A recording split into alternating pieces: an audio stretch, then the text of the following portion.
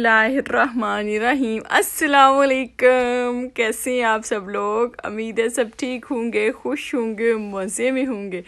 अल्हम्दुलिल्लाह, हम लोग भी बिल्कुल ठीक ठाक हैं। आप सबकी दुआओं से और अल्लाह ताला से दुआ है कि अल्लाह आपको भी ठीक रखे, हंसता, मुस्कुराता रखे। आमीन।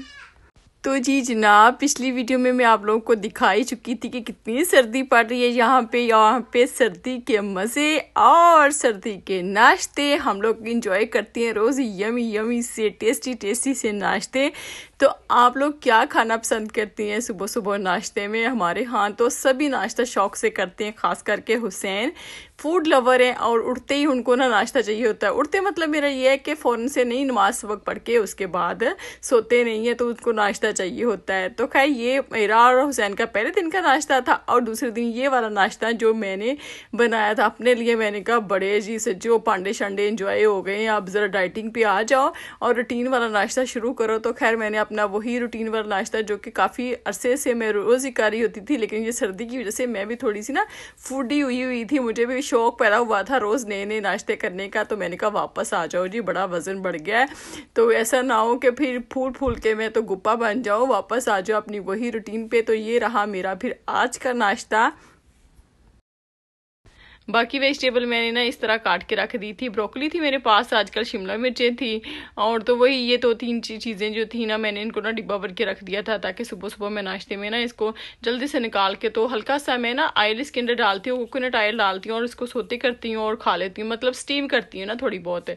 तो यहाँ पे जी मैंने अनार भी निकाल दिया। अनार निकालने के लिए मैं हमेशा ही ना ग्लव्स का इस्तेमाल करती हूँ, इससे ना हाथ बचे रहते हैं, वरना तो हाथ इतने बेड़ा गर्क हो जाता है हाथों का, अनारों के साथ। तो अगर वैसे आप लोगों के पास अगर ना ग्लव्स नहीं है तो आपके साथ में एक टिप शेयर करती हूँ कि अनार निकालने से पहले ना आप हल्का सा सरसों का आयल जो है ना, हर घर में मौजूद होता है तो सरसों का आयल हल्का सा एक ड्रॉप्स अपने दोनों हाथों पे अच्छे से मर लेना, उसके बाद अनार निकालें तो उससे भी खैर कलर नहीं चढ़ता और आपके हाथ स्मूद ही रहती हैं। तो यहाँ पे अनार हमारा निकल रहा था साथ साथ हम लोग कर रहे थे ड्रामा इंजॉय क्योंकि ईमान फातमा हीरा देख रही थी ड्रामा तो कहती, मम्मा, आप भी हमारे साथ देखें। आप तो पहले बड़े शौक से देखती थी अर्तगल गाजी आप क्यों नहीं देखती? तो खैर, यहाँ पे यहाँ इन्होंने पता नहीं कौन सा आसमान गाजी लगाया हुआ था और हम लोग साथ साथ ड्रामा देख रहे थे और साथ साथ अनार निकाल रहे थे और साथ साथ खा भी रहे थे। आज हमने कोई काम नहीं किया था, बस इंजॉय किया था, सुबह नाश्ता किया, उसके बाद फ्रूट इंजॉय किया ड्रामा देखते रहे। कोई काम शाप नहीं किया था। वैसे भी सर्दी का मौसम होता है ना तो क्या कहती हैं सीट तो वैसे चल रही होती है हमारे अपार्टमेंट में तो यहाँ पे तो लेकिन सर्दी इतनी ज़्यादा है ना, इतना लेजी लेजी सा बंदा हुआ हुआ है, कोई काम करने को दिल नहीं कर रहा था। तो अभी माँ ने रट लगाई हुई थी कि चले, बाहर चलते हैं, बाहर चलते हैं मम्मा। हालाँकि सर्दी काफ़ी थी, लेकिन फिर भी बच्चे में नहीं मान रहे थे। तो यहाँ पे माँ को स्टोलर पे बिठा के लेके आए थे। जब बाहर आए तो काफ़ी सर्दी थी। फिर मैंने तो बच्चों को बोला, आप लोग ना ऐसा करो, बस पे चढ़ जाए जल्दी से, क्योंकि बस भी आ गई है। तो मैं स्टोलर लेके खुद ही तुम लोगों के पीछे आ जाती हूँ। तो यहाँ पे पास ही है नाइन्टी स्टोर तो हर ये, इनको तो बस पे मैंने बिठा दिया था। काफ़ी सर्दी थी। तो ये बस पे बैठ गए जल्दी जल्दी आ गए थे चारों और मैं फिर स्टोलर लेके आई थी। ज़ाहिर है फिर स्टोलर इतना बड़ा बस पे काम मैंने चढ़ाना था। तो यहाँ पे हम लोग नाइन्टी स्टोर पे आ गए हैं तो एक दो चीज़ें हमें नाइन्टी स्टोर से चाहिए थी, जो मुझे जेक्स चाहिए होती हैं बाथरूम धोने के लिए तो वो मैंने उठाई फिर यहाँ से दो। और ईमान को मैं बोल रही थी, मैंने कहा, अपनी ना बर्थडे की चीज़ें भी अभी ले लो, जो तुमने लेनी है बलून्स वगैरह डेकोरेशन वगैरह, फिर रोज़ रोज़ नहीं आ जाना, क्या पता आगे कितनी सर्दी हो जाए?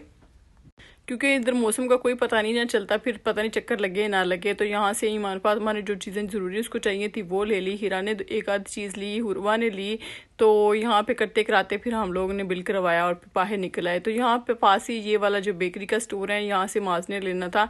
उसको चाहिए था कुछ खाने पीने के लिए तो मैं कह रही थी हीरा से कि तुम लोग भी देख लो अगर कुछ लेना है। तो उनको तो कुछ भी पसंद नहीं आ रहा था। मम्मा जी, हमने तो डेंगे डोनर से ही लेनी है चीज़ें।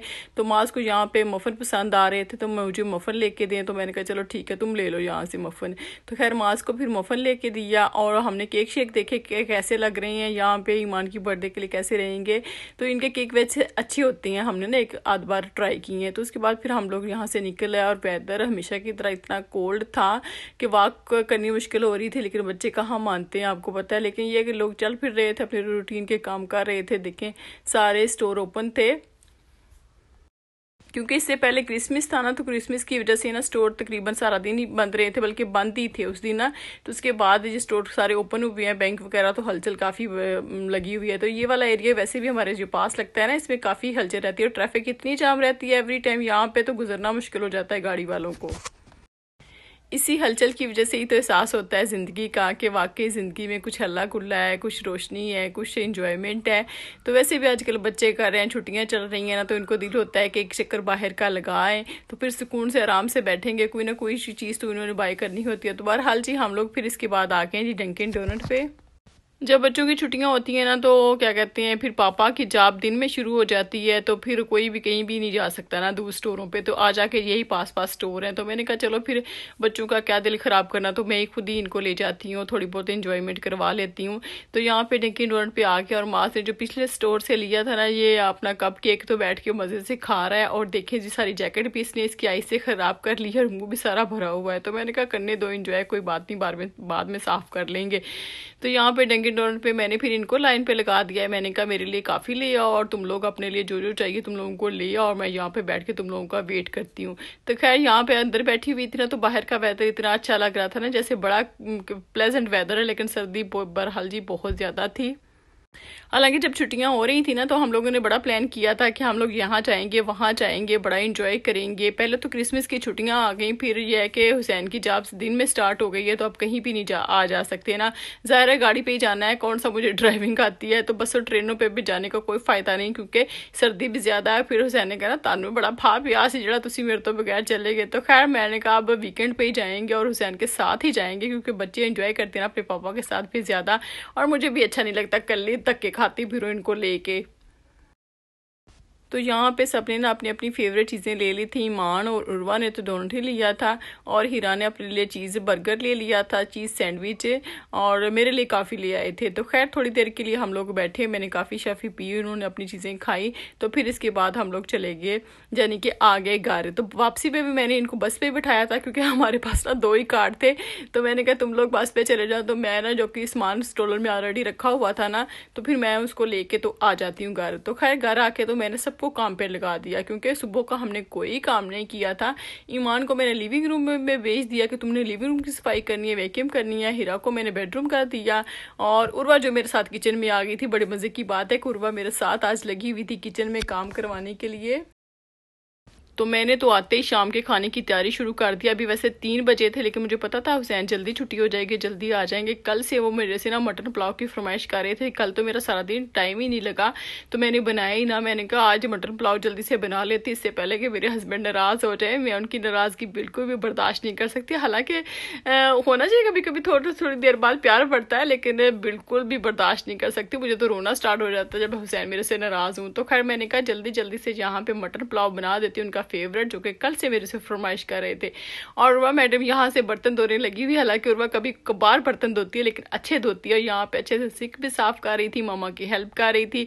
और दोनों बेटियाँ बड़ी वाली, माशाल्लाह से मेरी भी हेल्प कर रही थी। वो लगी हुई थी लिविंग रूम में बेडरूम में सफ़ाई करने के लिए। और इतने में ये देखें जी, यहाँ पे हमारा यमी और टेस्टी सा मटन पुलाव हुसैन की फरमाइश पे जो ना बिल्कुल रेडी हो गया है। मटर पुलाव के साथ में हमने ना हल्का फुल्का सा रायता बना लिया था, जो कि मैंने नहीं बनाया था, ईमान फातमा ने बनाया था अच्छा बना दिया था, क्योंकि सारी चीज़ें तो ऑलरेडी होती हैं, दही भी था, खीरे, टमाटर इसके अंदर डाल दिए थे, प्याज डाल दिए थे, और हरी चटनी जो कि आप लोगों को मैं पहले सिखा चुकी हूँ फ्रिज की हुई थी, वो इसके अंदर डाली थी, और मज़े से हमने रायता बना लिया था।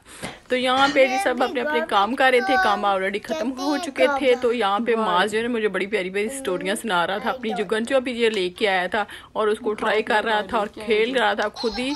तो खैर यहाँ पे मैं उसको कह रही थी कि तुम ये क्या कर रहे हो? तुम किसको दिखा रहे हो? गन तो कह रहा था बड़े मज़े से मैं हारस को दिखा रहा अपनी न्यू वाली गन हारस मेरा भतीजा है। दरअसल जब भी माज कोई नए टॉय लेके आता है तो उसको फ़ौरन होती है कि व्हाट्सएप पे ना पुपो मुझे माज के टॉयज़ दिखा दो कौन कौन से न्यू लेके आया है? तो वो भी इसी की एज का है तो माशाल्लाह से उसको बड़ा शौक होता है। तो यहाँ पे ये देखें जी क्या हो रहा है? ये क्या हो रहा है? जी मास और मास को दबा रही है हीरा। उसको कहती मैं तुम्हारा ना मसाज कर रही हूँ। तो हाथों से नहीं दबा रही तो पैरों से उसके हल्के हल्के लगी फिर वो भी एंजॉय कर रहा है। ऐसा लगता है जैसे उसको नींद आई हुई है। और ये रहा हमारा छोटा सा व्लॉग आई होप आप लोगों को अच्छा लगा होगा। अगर अच्छा लगा है तो जल्दी से जाके इसको लाइक कर दें सब्सक्राइब कर दें और अपनी फैमिली और फ्रेंड्स के साथ इसको शेयर कर दें। और इसी पर लेती हूँ, और यही करती हूँ अपने व्लॉग का एंड और आप लोगों से लेती हूँ इजाज़त। अच्छा खाएँ हेल्दी खाएँ। हमेशा अपनी दुआ में याद रखिएगा। मिलती हूँ फिर नेक्स्ट वीडियो में नेक्स्ट व्लॉग में। तब तक के लिए अल्लाह हाफिज़।